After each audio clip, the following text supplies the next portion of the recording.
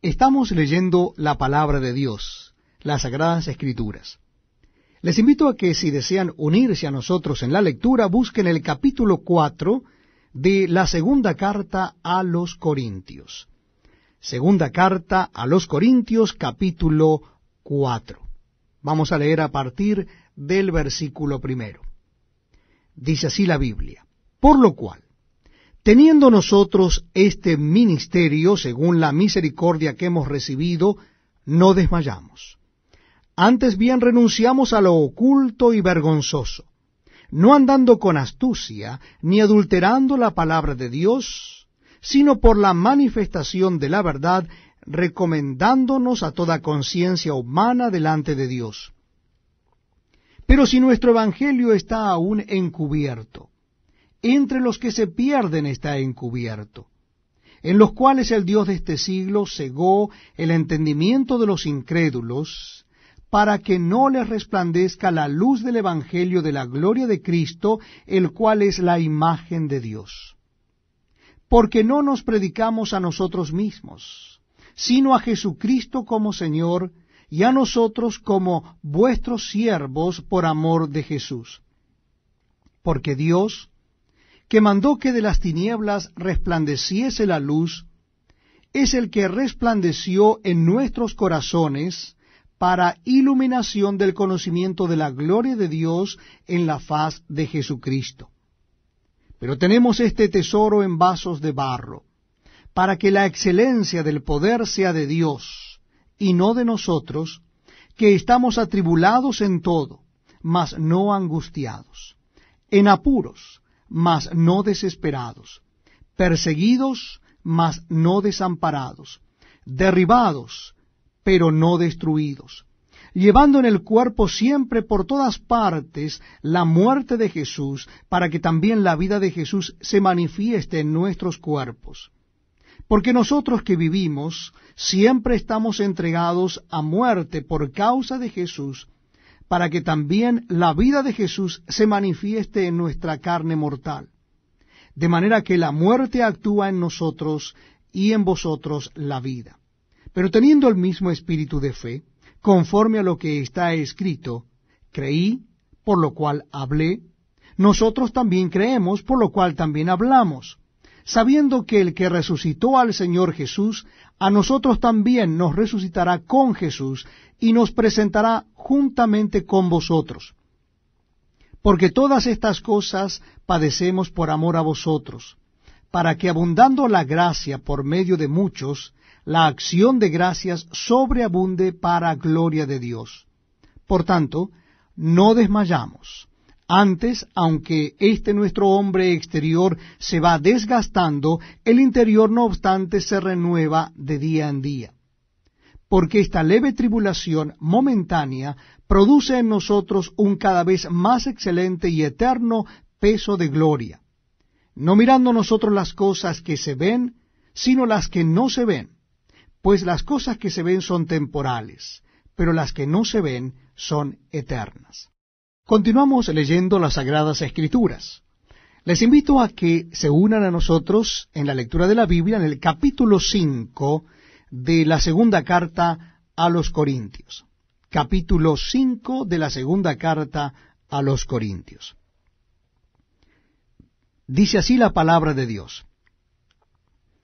Porque sabemos que si nuestra morada terrestre, este tabernáculo se deshiciere, tenemos de Dios un edificio, una casa no hecha de manos, eterna en los cielos. Y por esto también gemimos, deseando ser revestidos de aquella nuestra habitación celestial. Pues así seremos aliados vestidos y no desnudos.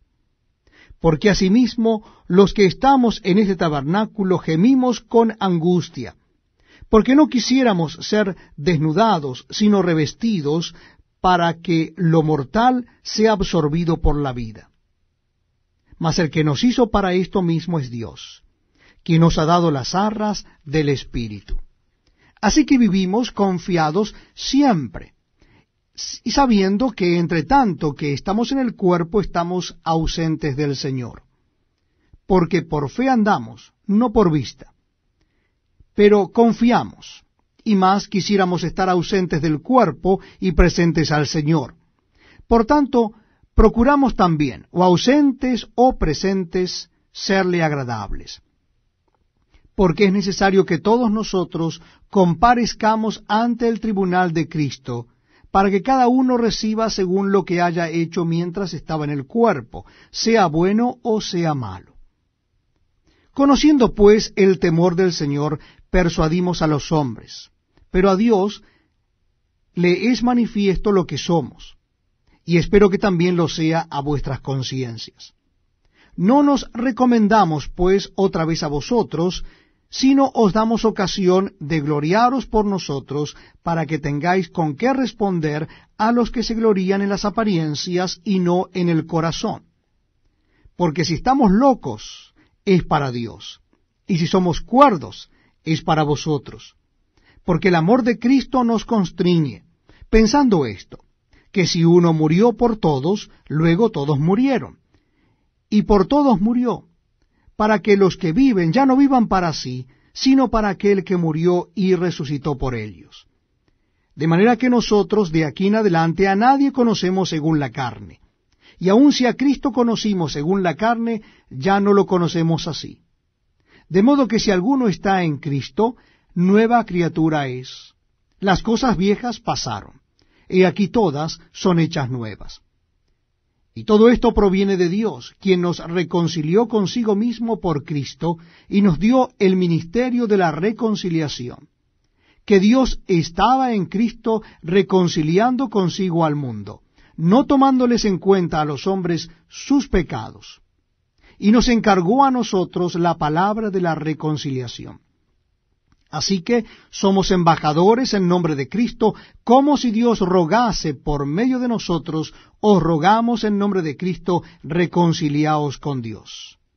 Al que no conoció pecado, por nosotros lo hizo pecado, para que nosotros fuésemos hechos justicia de Dios en él. Libro de Salmos, Salmo número 26. Júzgame, oh Jehová, porque yo en mi integridad he andado. He confiado asimismo en Jehová sin titubear. Escudriñame, oh Jehová, y pruébame. Examina mis íntimos pensamientos y mi corazón, porque tu misericordia está delante de mis ojos, y ando en tu verdad. No me he sentado con hombres hipócritas, ni entré con los que andan simuladamente. Aborrecí la reunión de los malignos, y con los impíos nunca me senté. Lavaré en inocencia mis manos, y así andaré alrededor de tu altar, oh Jehová, para exclamar con voz de acción de gracias y para contar todas tus maravillas. Jehová, la habitación de tu casa he amado, y el lugar de la morada de tu gloria.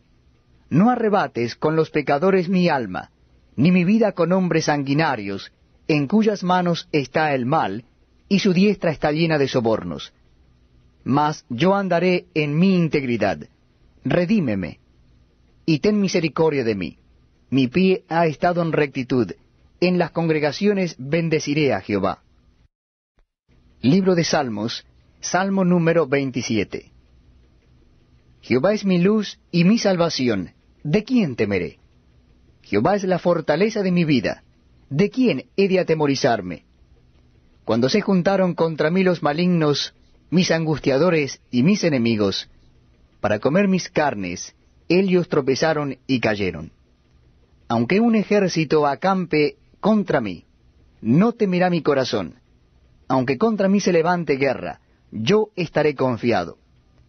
Una cosa he demandado a Jehová, esta buscaré, que esté yo en la casa de Jehová todos los días de mi vida, para contemplar la hermosura de Jehová y para inquirir en su templo. Porque él me esconderá en su tabernáculo en el día del mal, me ocultará en lo reservado de su morada, sobre una roca me pondrá en alto. Luego levantará mi cabeza sobre mis enemigos que me rodean, y yo sacrificaré en su tabernáculo sacrificios de júbilo. Cantaré y entonaré alabanzas a Jehová. Oye, oh Jehová, mi voz con que a ti clamo ten misericordia de mí, y respóndeme. Mi corazón ha dicho de ti, buscad mi rostro. Tu rostro buscaré, oh Jehová, no escondas tu rostro de mí. No apartes con ira a tu siervo, mi ayuda ha sido. No me dejes ni me desampares, Dios de mi salvación. Aunque mi padre y mi madre me dejaran, con todo Jehová me recogerá. Enséñame, oh Jehová, tu camino, y guíame por senda de rectitud a causa de mis enemigos. No me entregues a la voluntad de mis enemigos, porque se han levantado contra mí testigos falsos y los que respiran crueldad. Hubiera yo desmayado si no creyese que veré la bondad de Jehová en la tierra de los vivientes. Aguarda a Jehová, esfuérzate y aliéntese tu corazón. Sí, espera a Jehová. Libro de Salmos, Salmo número 27. Jehová es mi luz y mi salvación. ¿De quién temeré? Jehová es la fortaleza de mi vida. ¿De quién he de atemorizarme? Cuando se juntaron contra mí los malignos, mis angustiadores y mis enemigos, para comer mis carnes, ellos tropezaron y cayeron. Aunque un ejército acampe contra mí, no temerá mi corazón. Aunque contra mí se levante guerra, yo estaré confiado. Una cosa he demandado a Jehová, esta buscaré, que esté yo en la casa de Jehová todos los días de mi vida, para contemplar la hermosura de Jehová y para inquirir en su templo. Porque él me esconderá en su tabernáculo en el día del mal, me ocultará en lo reservado de su morada, sobre una roca me pondrá en alto. Luego levantará mi cabeza sobre mis enemigos que me rodean, y yo sacrificaré en su tabernáculo sacrificios de júbilo. Cantaré y entonaré alabanzas a Jehová. Oye, oh Jehová, mi voz con que a ti clamo ten misericordia de mí, y respóndeme. Mi corazón ha dicho de ti, buscad mi rostro. Tu rostro buscaré, oh Jehová, no escondas tu rostro de mí. No apartes con ira a tu siervo, mi ayuda ha sido. No me dejes ni me desampares, Dios de mi salvación. Aunque mi padre y mi madre me dejaran, con todo Jehová me recogerá. Enséñame, oh Jehová, tu camino y guíame por senda de rectitud a causa de mis enemigos. No me entregues a la voluntad de mis enemigos, porque se han levantado contra mí testigos falsos y los que respiran crueldad. Hubiera yo desmayado si no creyese que veré la bondad de Jehová en la tierra de los vivientes. Aguarda a Jehová, esfuérzate y aliéntese tu corazón. Sí, espera a Jehová. Libro de Salmos, Salmo número 29. Tributad a Jehová, oh hijos de los poderosos, dad a Jehová la gloria y el poder, dad a Jehová la gloria debida a su nombre, adorad a Jehová en la hermosura de la santidad. Voz de Jehová sobre las aguas, truena el Dios de gloria, Jehová sobre las muchas aguas, voz de Jehová con potencia, voz de Jehová con gloria, voz de Jehová que quebranta los cedros, quebrantó Jehová los cedros del Líbano, los hizo saltar como becerros, al Líbano y al Sirión como hijos de búfalos, voz de Jehová que derrama llamas de fuego, voz de Jehová que hace temblar el desierto, hace temblar Jehová el desierto de Cádiz, voz de Jehová que desgaja las encinas, y desnuda los bosques. En su templo todo proclama su gloria. Jehová preside en el diluvio, y se sienta Jehová como rey para siempre. Jehová dará poder a su pueblo. Jehová bendecirá a su pueblo con paz. Libro de Salmos, Salmo número 30. Te glorificaré, oh Jehová, porque me has exaltado, y no permitiste que mis enemigos se alegraran de mí. Jehová Dios mío, a ti clamé y me sanaste. Oh Jehová, hiciste subir mi alma del Seol, me diste vida para que no descendiese a la sepultura. Cantad a Jehová vosotros sus santos, y celebrad la memoria de su santidad, porque un momento será su ira, pero su favor dura toda la vida. Por la noche durará el lloro, y a la mañana vendrá la alegría. En mi prosperidad dije yo, no seré jamás conmovido, porque tú, Jehová, con tu favor me afirmaste como monte fuerte, escondiste tu rostro, fui turbado. A ti, oh Jehová, clamaré, y al Señor suplicaré. ¿Qué provecho hay en mi muerte cuando descienda a la sepultura? ¿Te alabará el polvo? ¿Anunciará tu verdad? Oye, oh Jehová, y ten misericordia de mí. Jehová, sé tú mi ayudador. Has cambiado mi lamento en baile, desataste mi silicio y me ceñiste de alegría. Por tanto, a ti cantaré gloria mía, y no estaré callado.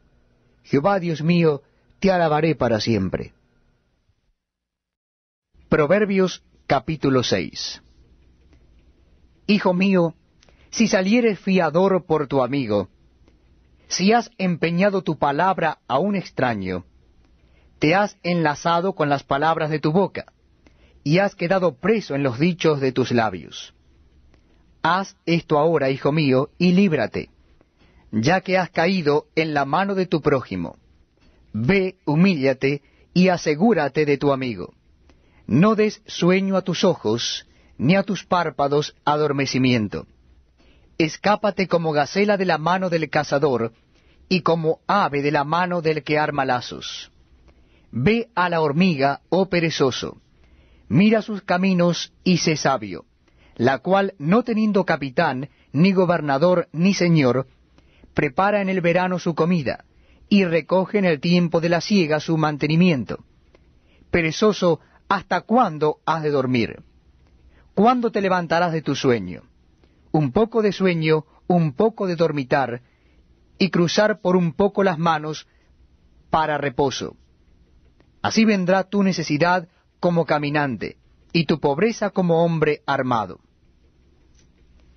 El hombre malo, el hombre depravado, es el que anda en perversidad de boca, que guiña los ojos, que habla con los pies, que hace señas con los dedos. Perversidades hay en su corazón. Anda pensando el mal en todo tiempo. Siembra la discordia. Por tanto, su calamidad vendrá de repente. Súbitamente será quebrantado y no habrá remedio. Seis cosas aborrece Jehová, y aun siete abomina su alma.